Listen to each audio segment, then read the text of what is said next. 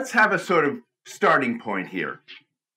If you believe, a la Darwin, that we are one among many species on the planet that have been created by evolution, cosmic evolution. So, in terms of the history of the universe, what what do we want to say? 13 billion years.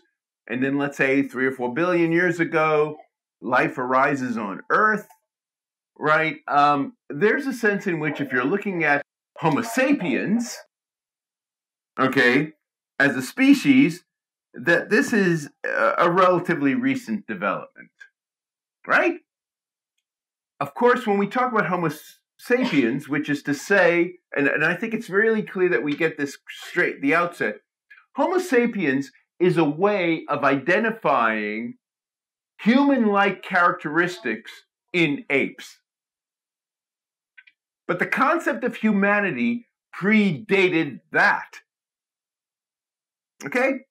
So Homo sapiens is actually a coinage of the 18th century. Okay?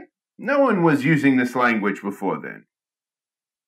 And this is where the great Swedish botanist, right, uh, Linnaeus, Car- Carolus Linnaeus, you know, gave this kind of uh, very structured way of understanding all forms of life on Earth, right? Animals, plants, and also rocks, actually, right? Giving them what we now call in the uh, in the scientific literature across the disciplines binomial nomenclature. Right? Two names. That's all it means. It's a fancy Latin way of talking about two names. Right? Binomial nomenclature. Homo sapiens. So the Homo part tells you it's part of the ape kingdom, basically, and the sapiens part says what is it that distinguishes us from all the other apes? Right? That is an innovation of the mid 18th century. Okay? Now, before the 18th century, people nevertheless, for some strange reason, had an idea of what it meant to be human. How did they get that idea? They hadn't seen many apes. Right? I mean, again, you know, we talk and and and this is where um, ethnocentrism might be helpful. Okay,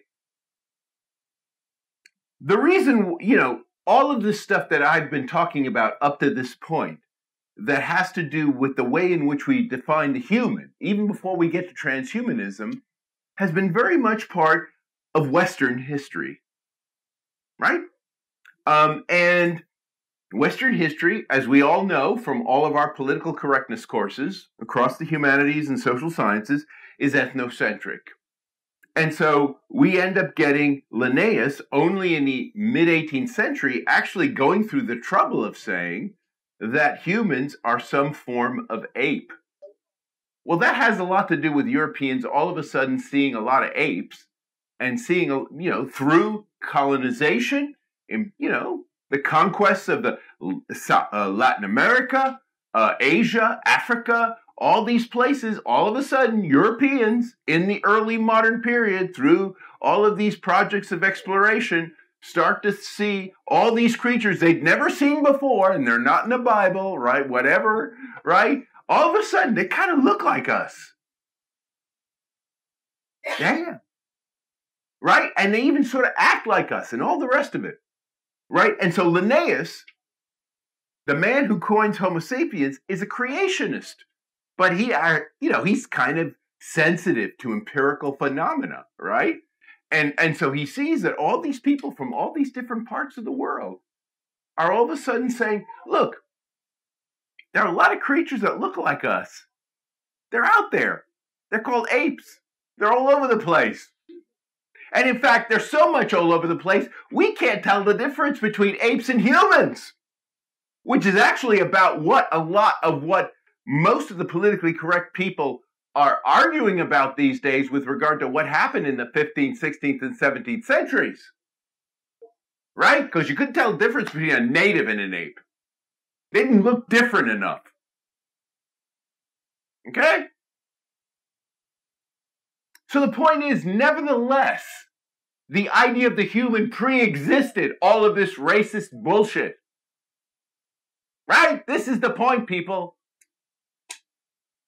Right? So let's take that as the first point about transhumanism. Right? That there is a sense that you have to think about the human in a much more kind of abstract, conceptual kind of way than the idea of a human corresponding to a certain kind of ape. That is only something that starts to get traction in the mid 18th century with Linnaeus. And of course, Darwin. See, Linnaeus is a creationist, right?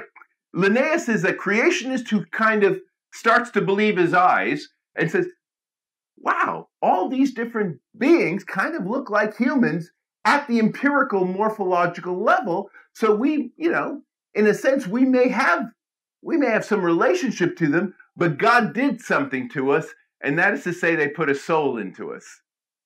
Right? And this is where you start to begin to get the kind of contemporary disagreements between the creationists and the Darwinists. Right? Because, because Linnaeus has already bought into the ape story. And so he's thinking ape plus what?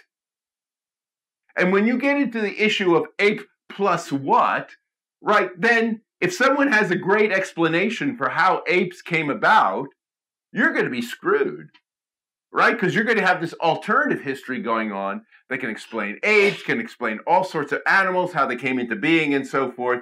And then all this idea about the idea that the you know humans are apes with a difference starts to kind of lose its appeal.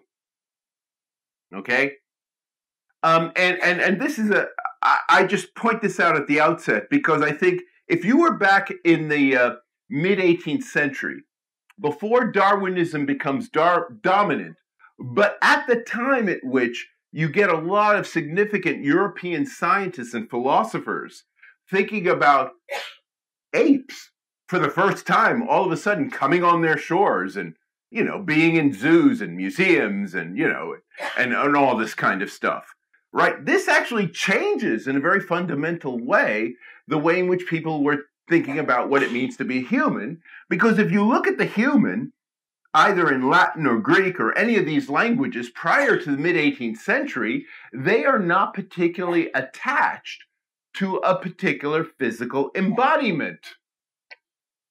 Okay? And you can go back to the ancient Greeks, who are the most pagan people in the world. They have nothing to do with Christianity, Plato, Aristotle, all these guys, right? Where's the apes? Where are these apes when they talk about humanity and so forth? Right? It's not there. Even if you, you know, you look at someone who is very sympathetic to animals and thought animals were very wise, you look at Aesop, the fables, right? You know about this, right? All these fables, right? Um, that that existed, that that are kind of very much part of our heritage today, right? Um, you know, the you know, the, the ant and the grasshopper, the fox and the hedgehog, all these things. Where are the apes? Where are the apes? They're not there.